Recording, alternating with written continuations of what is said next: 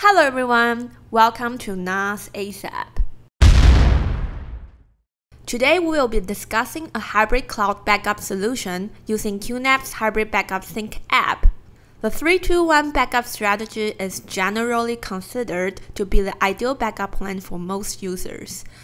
This strategy recommends retaining three copies on two different media types, including one off-site. QNAP's Hybrid Backup Sync provides many avenues for backing up and syncing data, allowing you to easily exceed the standards of the 321 backup strategy. Backing up data from your computer to your NAS is simple. If you have a Mac, you can use Time Machine. Windows users can use QNAP 3 NetBak Replicator software. As soon as your data is backed up to your NAS, it can be further backed up to your USB devices or to other QNAP NAS. You can also back up your data to a remote NAS using real-time remote replication.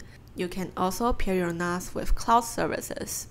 Hybrid Backup Sync consolidates many backup methods and solutions to help you ensure data safety.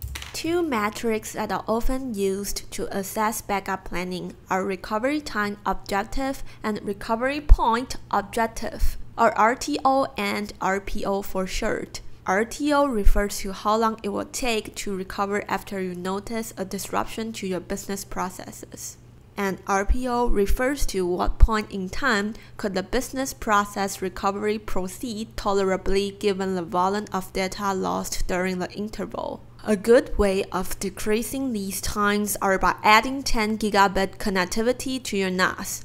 With additional bandwidth, Hybrid Backup Sync can greatly accelerate both backup and recovery tasks. Now, let's make our own backup plan, which includes three main points multi-version backup, data encryption, and supporting multiple storage destinations. First, using multi-version backup allows us to have more options of data we want to recover.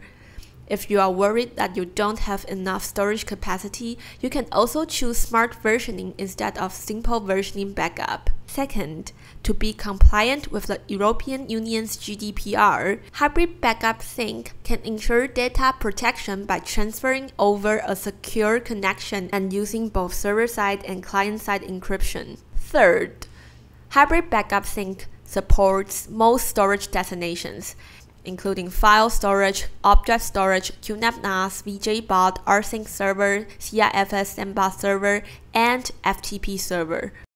The advantages of backing up to a public cloud are that entry barrier is lower and that you can decide the capacity, performance, and expandability by demand. Whereas the advantages of backing up to a private cloud are that the data security is higher, the data access speed is much faster, and the RTO is shorter.